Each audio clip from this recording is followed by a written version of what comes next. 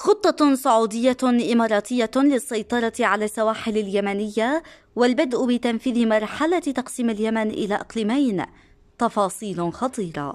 للمزيد من الأخبار لا تنسوا الإعجاب بالفيديو والاشتراك بالقناة. كشفت مصادر خاصة عن ترتيبات تقوم بها قيادة التحالف لتدويل الساحل الغربي من المخا إلى باب المندب وجعله منطقة معزولة تحت حماية قوات دولية بقيادة إماراتية.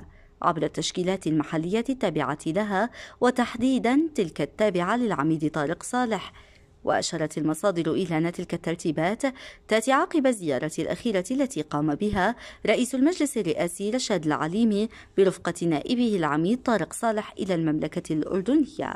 وبينت المصادر أن الحركة السياسي للرئيس العليمي وزياراته الخارجية لعدد من الدول العربية والزيارة التي قام بها إلى جمهورية ألمانيا بتزامن مع زيارة زيارة لرئيس الوزراء الإسرائيلي وما تداولته وسائل إعلام عن لقاء ومباحثات مباشرة ورسمية عقدت بين الجانبين.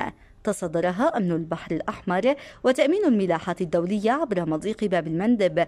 تؤكد ما تحدثت عنه وسائل الإعلام حول تدويل الساحل الغربي لليمن وجعله منطقة معزولة تحت حماية دولية. يأتي ذلك تزامنا مع تحركات قوات درع الوطن العمالقة حراس الجمهورية التابعة للعميد طارق صالح باتجاه رأس العارف لحج. ما يؤكد مساعي تلك القوات إلى عزل باب المندب عن الجنوب الجنوب وسلطات وقوات الانتقالي والمتزامنة مع الحراك اللافت للسفير الأمريكي في حضرموت وشبوة وعدن ولقاءاته مع وزراء الدفاع والداخلية والمالية. وقالت المصادر إن هناك مساعا حثيثة للعميد طارق صالح وجناح الرئيس الأسبق.